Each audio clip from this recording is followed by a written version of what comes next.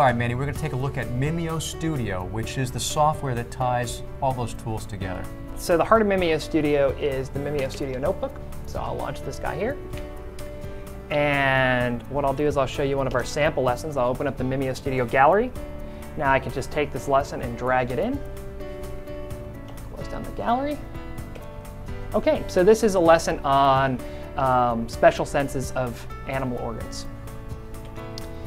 And we'll skip over the instructions and we'll hop over to um, one of the activities we have here. So Ken, when you smell a pizza baking in the oven, what organ would you use?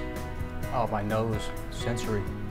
And There- yay, there nose. And we'll do one more on this page. Answering the phone when it rings. Ah, hearing. Hearing correct. Good at this.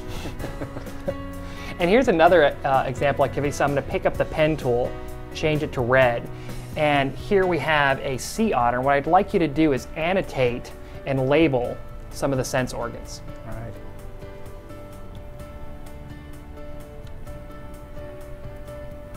Okay. We'll have you do one more.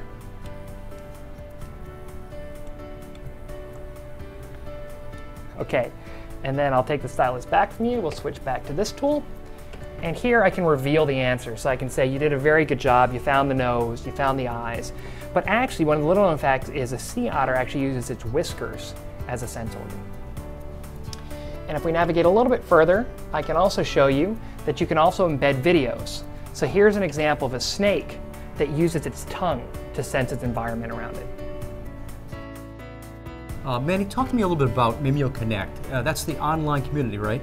Yep, um, Mimio Connect is a free service available to Mimio and non-Mimio users where teachers can log on and uh, collaborate with one another all around the world and share lessons that they've created. So not only do you get the tools, but you also get the resources online. Absolutely. And all those tools we saw from the, the Mimio Votes, the Mimio View, to the Mimio Teach, all work together Yes. for that Mimio classroom. Yep. The The, interactive the, classroom. each of the components are great products in and of themselves, but the real power comes when you start bringing all of these components in a classroom together and you create an interactive teaching environment. This is Ken Royal with Scholastic Administrator with Manny Perez. He was with Mimio, and we are at the Park Street School in Boston, Massachusetts today.